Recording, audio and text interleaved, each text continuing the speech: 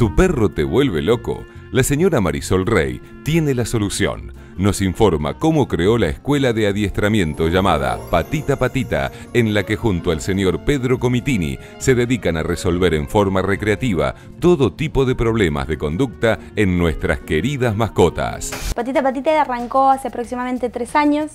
Em, yo estudiaba una carrera que se llama licenciatura en Relaciones del Trabajo y siempre me gustaron mucho los perros y bueno, y eh, por una u otra razón no he estudiado veterinaria, eh, más que nada por la parte clínica que no me interesaba tanto, pero siempre me apasionaron todo lo que fueran los perros, siempre estuve estudiando y leyendo sobre ellos y me enteré que, bueno, que había surgido una carrera que se llamaba adiestramiento canino, empecé a estudiar en diferentes cursos este, y hasta que me empecé a dedicar, digamos, ya hace tres años, eh, siempre, digamos, estuve muy, muy involucrada con los perros y todo esto surge en base a eso.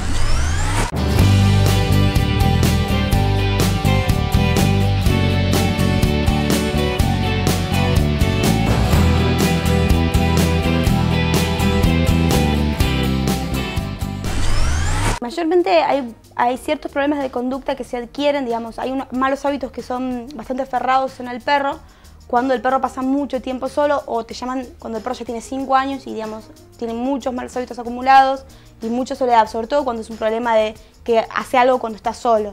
Digamos, si tiene un, mal hábito que pasa cuando el perro está solo y tiene muchos años de estar solo, sí, por, por lo general es un problema de conducta que cuesta corregir por esto. Pero la realidad es que depende muchísimo del problema de conducta, de cómo surgió, este, digamos, de la posibilidad del dueño de corregirlo. Por ejemplo, no sé, por decirte en el aire. El problema más común, digamos, de cuando está solo el perro es o que hace pisica acá dentro, de, digamos, dentro del domicilio y no, digamos, y no es lo que se busca o mm, cuando rompen todo, ese tipo de, conductas cuando pasa mucho el tiempo y el perro lo tiene muy aferrado dentro de sus malos hábitos, suele ser un problema en el que hay que dedicarse mucho para corregirlo.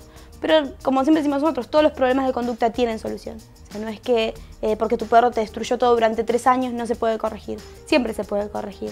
Eh, y a veces la solución está muy al alcance de las manos.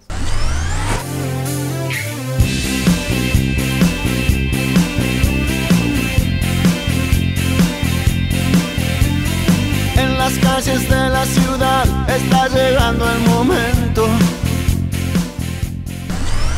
Con Pedro nos conocimos en la, en la UBA, en la Facultad de Ciencias Veterinarias, donde estudiamos eh, la carrera de adiestramiento.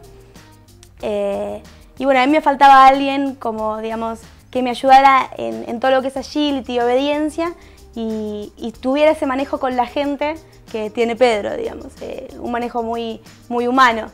Em, entonces, bueno, Pedro se incorpora al equipo también para poder ampliar los grupos, digamos, y, ser mi, mi coequiper.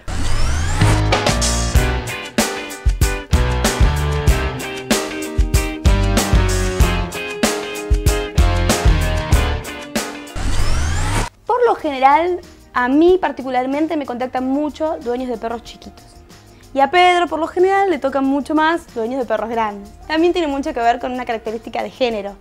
Em, la realidad es que a, mí particularmente me llegan muchísimo eh, casos de los más comunes, tirones de correa, perros que rompen todo, cachorros que hacen física acá adentro o adultos, em, malos hábitos como por ejemplo pedir de la mesa, pedir comida de la mesa, ladrar con el timbre. La realidad es que hasta ahora todos los problemas de conducta que nos han llegado han sido problemas muy, muy corregibles y bastante simples y de hecho nos sorprendemos a veces de lo rápido que el perro aprende.